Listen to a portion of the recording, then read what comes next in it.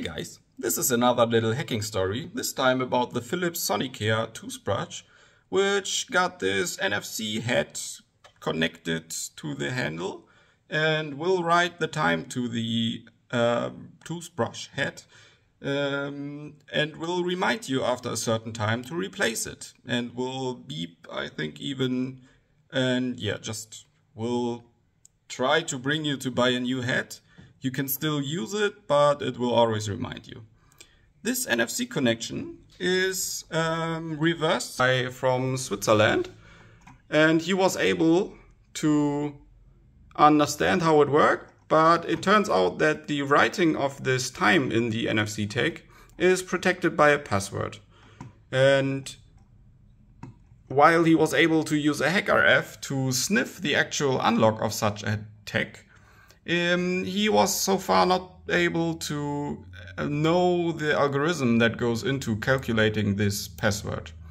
And he mentioned that it is maybe based on the user ID, but let's see. So I couldn't help myself and bought the cheapest available toothbrush locally and I tore it down.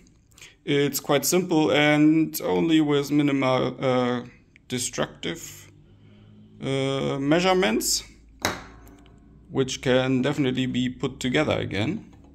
And if I would have known how to open it before, it is maybe even possible without any damage at all.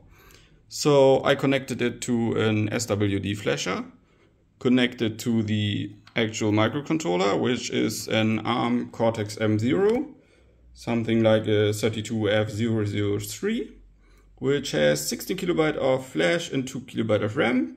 And here you can also see the NXP NFC reader and here the NFC tech. To my surprise, the memory was not locked and could be dumped just like that. So the firmware was read and I loaded it into Ghidra and started to reverse engineer all the necessary functions. The one interesting was this do NFC reading, where it will go step by step to first turn on the NFC reader. It will then read uh, if an NFC tag is available. The next is to read 18 bytes of some signature. Then it will read even more if we go in here.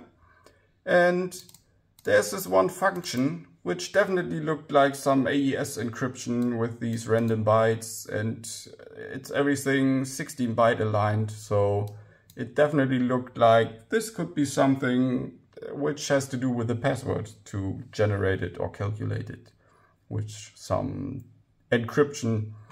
But going one step further in this line, we can see here that it will read from the memory of the NFC tag at the position 1F or register 1F. And if we go to this example here, we can see it starts here and reads down for 39 bytes and will read all this into memory.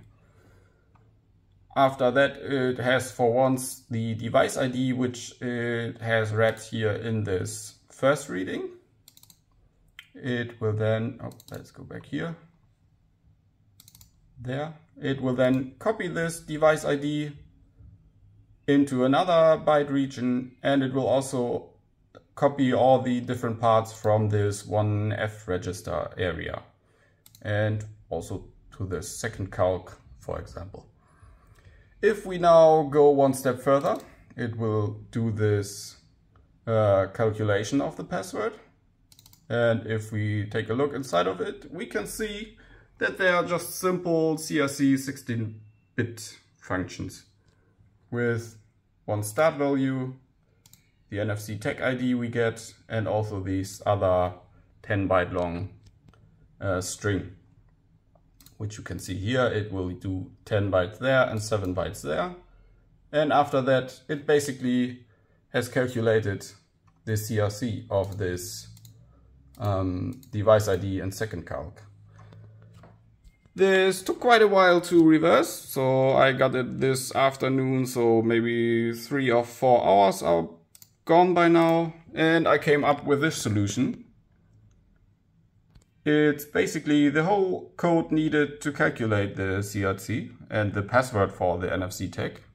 You can see that we have here for once just a regular CRC Sixten function. We have the UID of the NFC tag and we also have this string which turns out is for once printed on the back of the uh, brush head like there this 10 byte long with one space but we can also read it out via NFC again. We have here this 21090982M, which is the same as on the head. And also this UID of the head itself, which you can see here again. I'm here now using the examples from the Swiss guy, where you can see here we have this user ID, which is copied here and the expected password is here. So if um, we now use the start value and calculate the user ID to the start value, the CRC of it, we then again uh, use the string and calculate over it and rotate the bytes in it a bit and run this code, we will see that the outcome is exactly the same as from the Swiss guy. So while this is very simple to calculate, it took quite a bit to get behind where it will take all this these bytes and especially as some functions are just pointers to the functions so it was needed to reverse these as well first and they were nowhere used only via this pointer again if I can get back there here. It will get the pointer and only will then run this position of the array with these arguments. So that took quite a while, but in the end, we now have a fully reverse engineered password algorithm to unlock these heads to write your own time on it, even without sniffing with the HackerF also. So yeah, that's basically it already. I hope it was not too lame and as the solution is just way too simple to be proud of it, it's still nice to have it done and have it out of the head as this was just uh, taking way too much space thinking about a solution. But here we are. No idea why this microcontroller was not read protected and it's, it's yeah, strange. Okay, see you next time.